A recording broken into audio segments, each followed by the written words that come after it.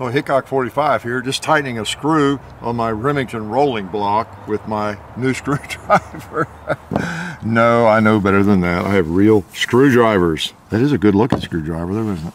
Uh, yes, we're glad you're here, and I'm glad especially that I am here and John is here because we're going to show you an original Remington rolling block later. Oh man, you know I'm in seventh heaven. You can tell when I put the cowboy hat on. And I don't, you may not have seen this one. It's a newer hat. Uh, my grandson helped pick this one out for me. Thought I looked handsome in it, I'll bet, right? Yeah.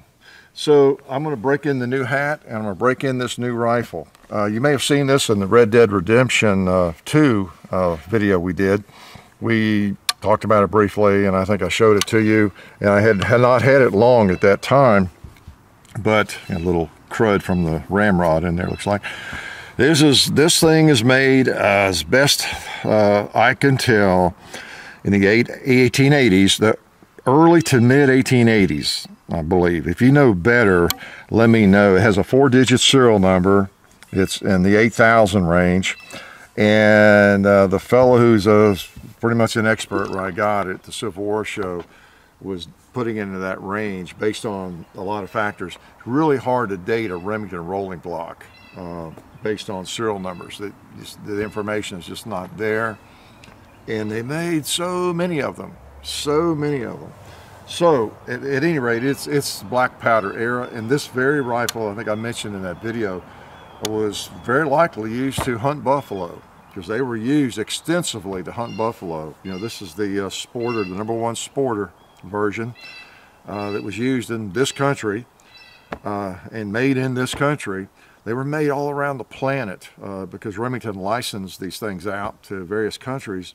Uh, gosh, uh, Spain, uh, Egypt, uh, just uh, South America, a bunch of countries, I think Mexico.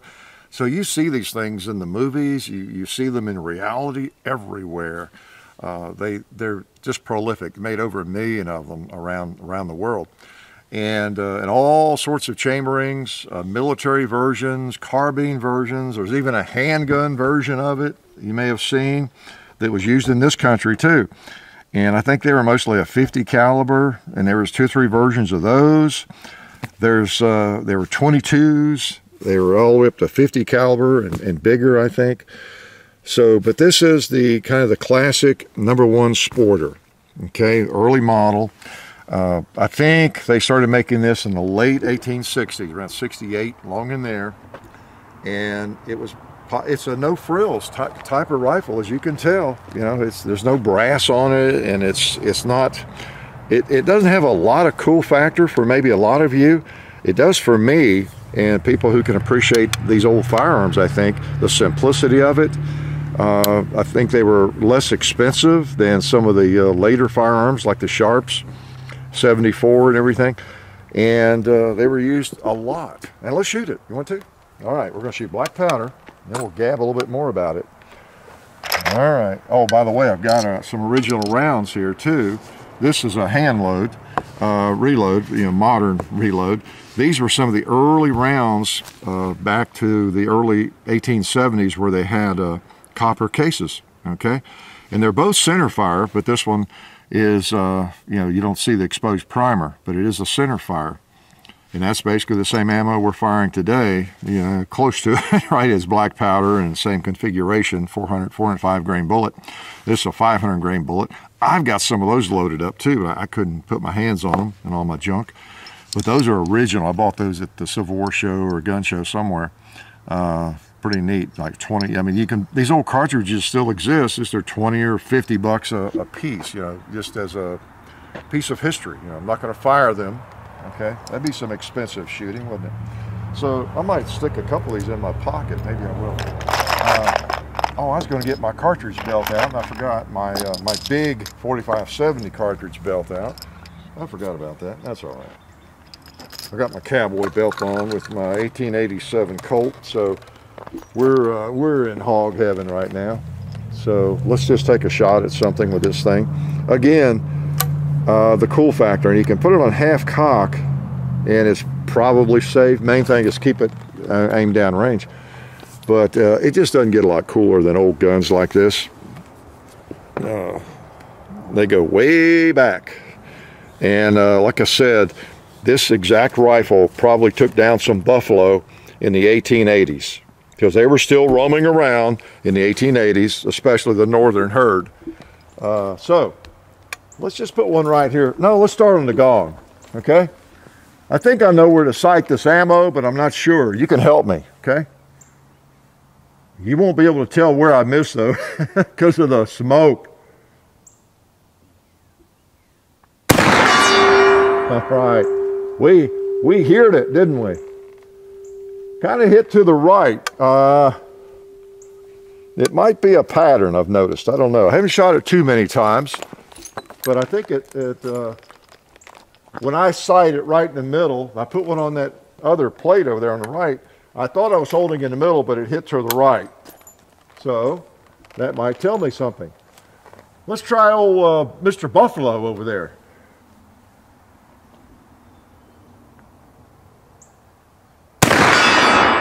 right.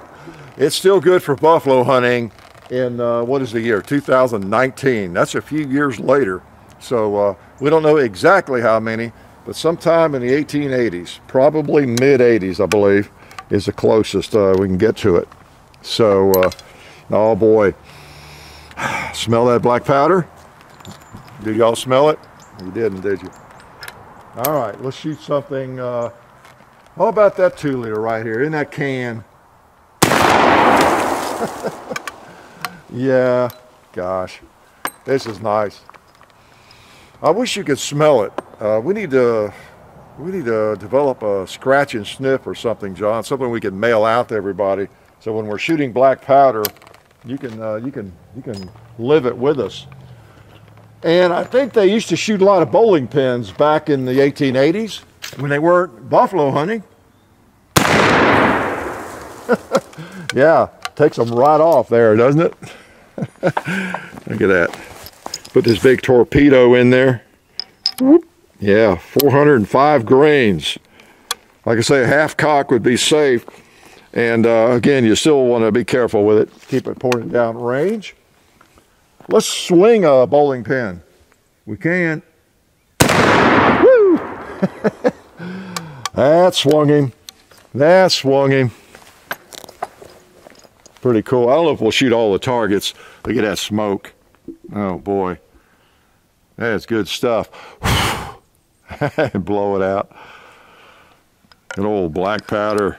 One thing about these single shots, you know, with black powder, oh man, cleanup is a job on a muzzle loader or a handgun. This Colt is black powder, of course, because it's 1887. It's a bit of a job, labor of love. But uh, the single shots are not quite as bad because the only thing that's dirty is the chamber, the barrel, you know, not a mechanism uh, full of uh, soot and all that. I'm gonna put another one on the gong. Do you mind? I'm gonna get another reading on the sights. I'm gonna try to hold in the middle.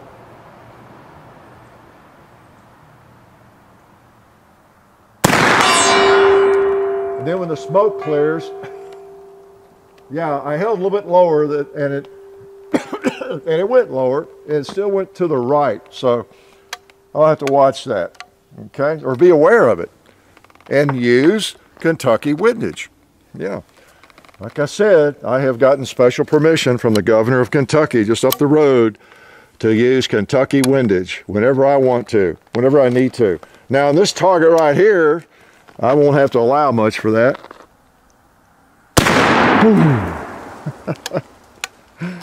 oh, yeah, smoke it up. I love it. Let's go over here and I'll show you what I do if I'm out here shooting one of these. And we've done a video on the rolling block. It was a reproduction, all right? And I talked about a lot of the, the history and everything there, so uh, I won't go into all of that. But, I mean, this is the first original. I'm gonna put some, some juice in it, what I do. If it start, like if I'm gonna stop here and talk a second, or even if I'm not, I'm gonna run a oily patch through there. Yeah keep it from uh, from setting up, you know. And uh, that black powder has a way of of actually hardening in the barrel.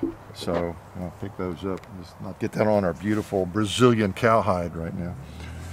But these things, uh, I told you a lot about that before. This is not a reproduction, so it's actually kind of a smaller. I think the reproductions are built a little bigger, a little more robust, because they're built from a mold of these. But the original size is actually more uh, convenient. It's handier. It's not a, a giant, uh, you know, action and everything. Uh, but these were kind of the, one of the unsung heroes of, I don't know if hero is the wrong word to use, but of the that era because they were simple, smooth, reliable, and they didn't have that pizzazz that maybe the, uh, the, the Sharps had, you know. But uh, they were they were used a great deal. A lot of people could afford these. They were not quite as much money, I believe. And man, they made so many of these things. Uh, and uh, and I was doing some reading. I wrote several articles on the buffalo hunting that I have read, and uh, there were two major herds, as I understand, a big southern herd and then the northern herd, and they were so plentiful in the right around the Civil War time and after that that a lot of what we think of, we think buffalo hunters. You're like me, we think of someone with a with an 1874, you know, Sharps with a vernier sight on the rear, a big bull barrel, a beautiful big old gun, buffalo gun, and there were a lot of those, of course, made. But probably most of the buffalo were taken with just simple rifles like this, and even uh, I was reading that a lot of fellows after the Civil War, they used the Springfield rifle, you know, probably Enfields too. And then the trap door was used widely because, you know, the government actually furnished surplus ammo uh, you know, the, the, part of the drive was to exterminate the uh, the buffalo. Sadly enough, you know, in the, the, the war with the Native Americans and everything, and uh, just you know, just uh, be nice if we could go back and rethink those times, right? Enough said. But anyway, uh, be that as it may. Uh, a lot of 4570 was used, and they'd even take that ammo from the government, as I've read, and melt it down, pull the bullets, and use it in if they had a 50 caliber or whatever they had. But more more simple or simpler rifles, I'm trying to get at, were used. A lot of simple rifles, you know, the trapdoor Springfield, the old muzzle loaders. These took a lot of buffalo because you didn't have to be a professional hunter uh, in a lot of ways. Uh, in the heyday of the buffalo because there wasn't a lot of hunting to it. It was just going out and shooting one. I read that people would do that just part time. They just go out in the evening, you know, or just go out and get a buffalo or two, and that was kind of a part time job for them. You know, the hide and bones and all that, whatever you'd sell. And uh, it was just it wasn't a deal where at various times you had to have wagons and a lot of people and tracking them and, and going off for uh, weeks and that sort of thing. They were so plentiful, depending on where you, you lived and where you were. But a lot of buffalo hunting was done with very simple rifles. In fact, I, have read, gosh, it's been years, but about Wyatt Earp. Yeah, Wyatt Earp, I think it was him, or Wild Bill. Somebody shooting, I'm going to complain. Isn't that terrible, the noise? uh, it's great to live in Tennessee, do I have to tell you? Uh, that I think he did, he took a lot of buffalo, we, just a lever action. You know, he didn't put a lot of money into it and hire a bunch of hunters and shooters and buy a bunch of expensive firearms. He just went out in one wagon, I think a Skinner with him maybe, and, and a lever gun. So a lot of the buffalo hunting was not with uh, the big dollar, you know, Sharps rifles and shooting from two miles away and that kind of thing, that romantic uh, vision that a lot of us have of it. So anyway, let me shoot again. But these, man, these a lot of these were uh, made in uh, around the world in uh, the military configuration. There were carbines, there were uh, all sorts of calibers. There was the, this is the number one, there was a number one and a half, a number two, a three, and a four, and they were different sizes. You could order them with different length barrels and different, uh, even size barrels, I think. And of course, a myriad of, uh, of calibers, cartridges. Uh, but this one, you know, you know me, I kind of, if I'm into a, to a uh, historic firearm, I'm, I, I the the standard, the basic gun always appeals to me, just like the Colt single action and 4440 or 45 Colt. Uh, this, it appealed to me because it's 4570 and I load 4570. I have other 4570s and it's the basic configuration, uh, nothing fancy, you know, of the number one sporter. And uh, I just thought it was cool. and especially because somebody probably took some buffalo with this baby. Okay, and, and who knows what else. All right, let's take a couple two liters here before we let you go. oh yeah, look at that white smoke. Is that wonderful? Oh, I'm so sorry you can't smell that. I'll smell it for you. yeah, I'm sick. I'm proud of it too. Let's see, it's a buffalo gun, so let's try to take that other buffalo over there on the right. It doesn't want to fall sometimes.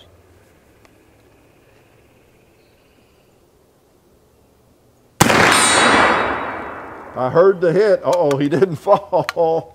Oh, you smart aleck. I must have hit him low. I've got one more round in my pocket. No, yeah, I've got one more round. Six eight SPC. oh yeah, that's my life mixing the modern with the uh, ancient, right? Just so happens I just finished firing an LWRC at 6.8. so uh, variety is the spice of life. Okay, let me try that guy. Smart Aleck again. I'll hold a little bit higher.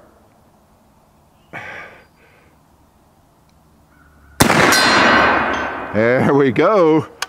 See, I knew what to do. If I had been a buffalo hunter, I could have adjusted. Oh man, look at that big old torpedo. Let's take a ram out too, since that's part of our new logo. Something I've been shooting since uh, about 1975.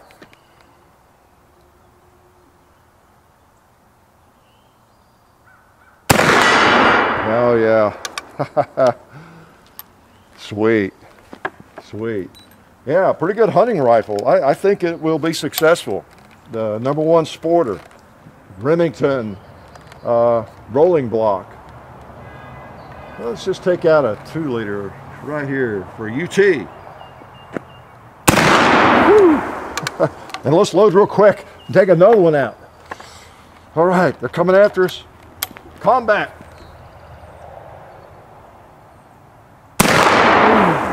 Yeah, I mean, you could load it fairly quickly if you needed to. Pop one in and, you know, not quite like a Henry rifle, but then you got a much bigger cartridge. You know, I think uh, I can't resist. I, I just got to take out the cowboy, okay?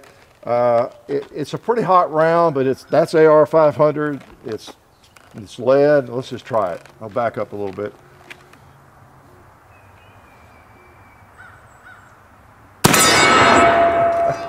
I just think the cowboy deserved to uh, to be in on this this fine old rifle. Yeah, to be part of the experience. Yeah, man. And there's a little bit of cinder block there. We may have to take it out if we don't do anything else.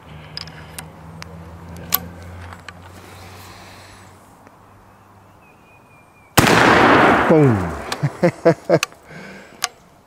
oh boy.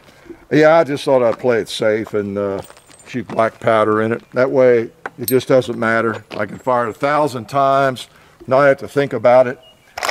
And if I want to smoke some pot, like I'm going to do right now, I can do it.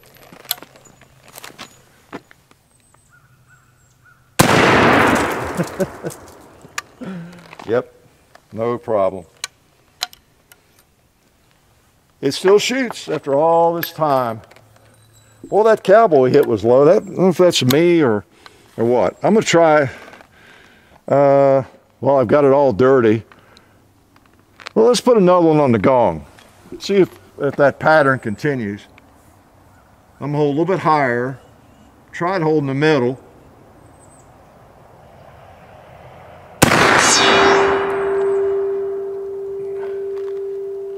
Yeah, over on the right, isn't it?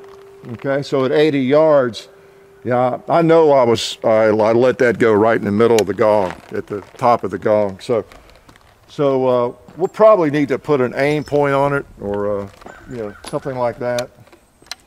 And we'll take care of that issue. So anything else about this thing that I, before you go, that you're dying to know?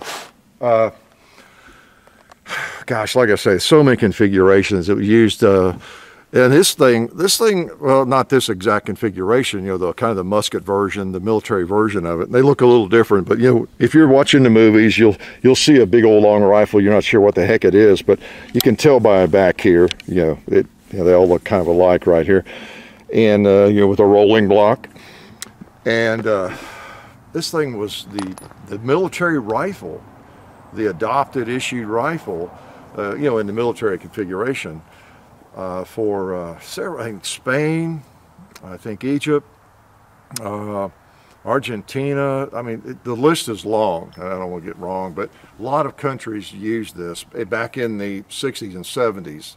Kind of the same time frame when we were using uh, the uh, trapdoor Springfield, you know, more or less in, in that kind of time frame, where single shots still kind of ruled the day and uh, just so so much history with Remington rolling block. You could read for weeks on it, you know, and uh, and uncover new gems of information all along the way. Just just a, a wonderful old rifle, simplicity of it, and they worked, and they had power. Uh, gosh, they're in every cartridge out there, uh, from 22, like I said, up to 50 caliber and more, and uh, what are some of the, I think, uh, you know, 8 millimeter Mauser, I believe. Uh, I think the Swiss round, you know, is used by Norway, Sweden. There's so many, so many uh, uh, countries have adopted these crazy things. Again, in the in more military version. Uh, but then the sporter, number one sporters, you know, would have ended up anywhere in the, on the planet too, that you could get ammo for them and I love this one. It's just in, uh, it's, it's kind of rough, but you know, everything's still pretty much intact, the sights, and uh, it works. So it's kind of hard to beat. Can I shoot it one more time? Just one more time before I have to clean it? Okay, let's put another torpedo in. One more. All right. And what would be appropriate? How about the two liter right here in my face. You know what? There's a bowling pin behind it. Let me see if I can line it up.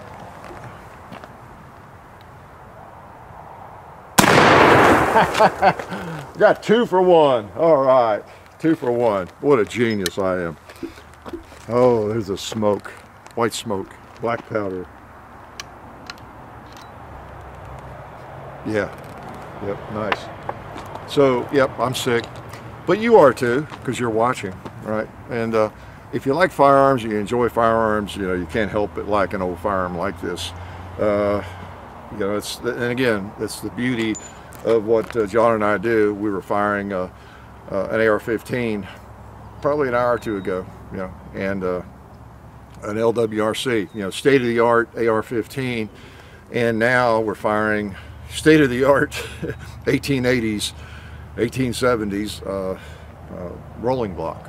So uh, a lot of history out there, a lot of interesting firearms, and as I've advised before, hopefully you don't uh, limit yourself to any specific uh, genre. To, I mean, we have to to some extent, but but I always feel like people who do nothing but shoot black rifles and pistols uh, are missing out on some cool stuff. Just as the people who do nothing but say this, shoot these old guns, and make fun of uh, black rifles or or uh, Glocks or you know any any kind of polymer pistol pistol. They're missing out on a lot of things as well.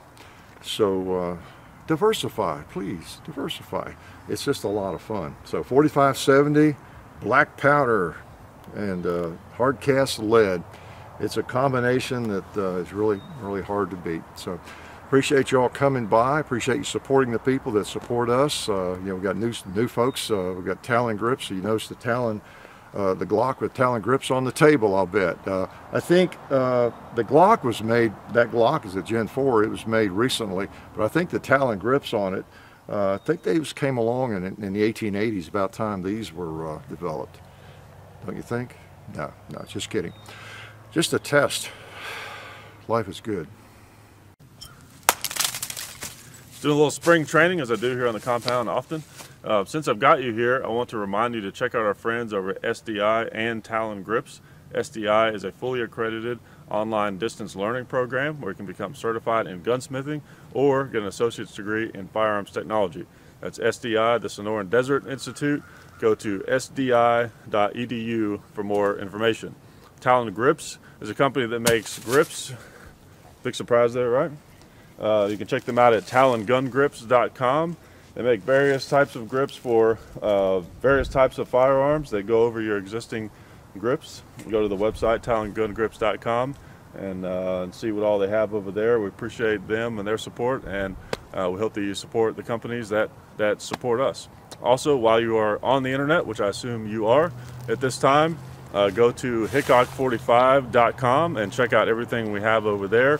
We have links to all of our social media, our merchandise, which you can find also at bunkerbranding.com. We have t-shirts and hats and mugs and, and drink koozies and, and different things like that. On social media, there is Hickok the Real Hickok 45 on Instagram, Hickok 45 on Twitter, Hickok 45 on Facebook.